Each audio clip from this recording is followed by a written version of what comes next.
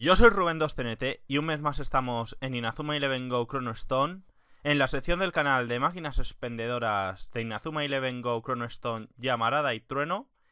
En mi caso es la edición Llamarada y en esta ocasión vamos a ir a la máquina expendedora que se encuentra en la entrada del barrio de tiendas y que da técnicas y objetos para nuestros porteros.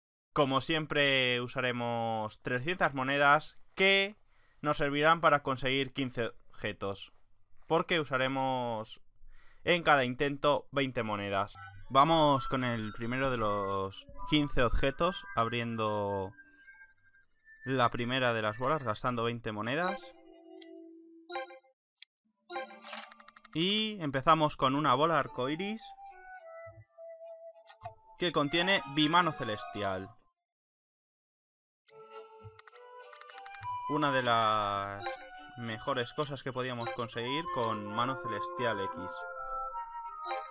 Segunda es una bola plateada y contiene guantes de primera. Vamos a por otra más. Bola roja. Guantes arlequín.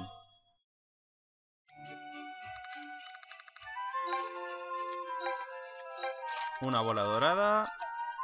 Guantes Neo Inazuma Japón.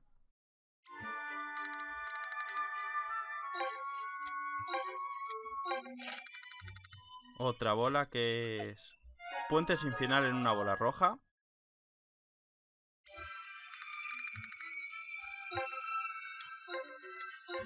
Bola plateada. Bolsa nutritiva semanal. De momento la bimano y el puente sin final. Corte de arena. Siguiente objeto. Bola dorada.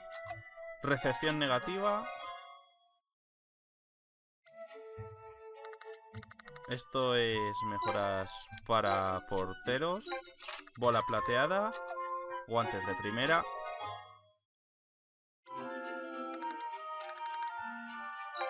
Otras 20. Bola plateada. Manos infinitas. Puede pasar. Bola roja. Suerte más 10.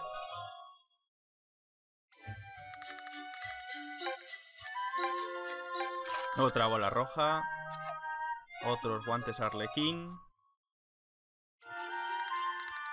Siguiente. Quedan tres bolas. Bola plateada con otra vez manos infinitas.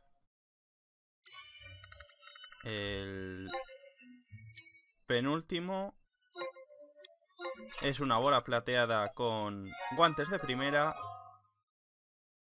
Y el último objeto de este vídeo es bola arcoiris y contiene centro de gravedad. Vamos a recapitular objetos o cuadernos, centro de gravedad, manos infinitas, bimano celestial y puentes sin final como cosas interesantes. Gracias por ver el vídeo, podéis darle si os ha gustado, favorito si os ha encantado. También podéis suscribiros al canal, dejarme preguntas, dudas, opiniones y sugerencias en la caja de comentarios y nos vemos el mes que viene. Adiós.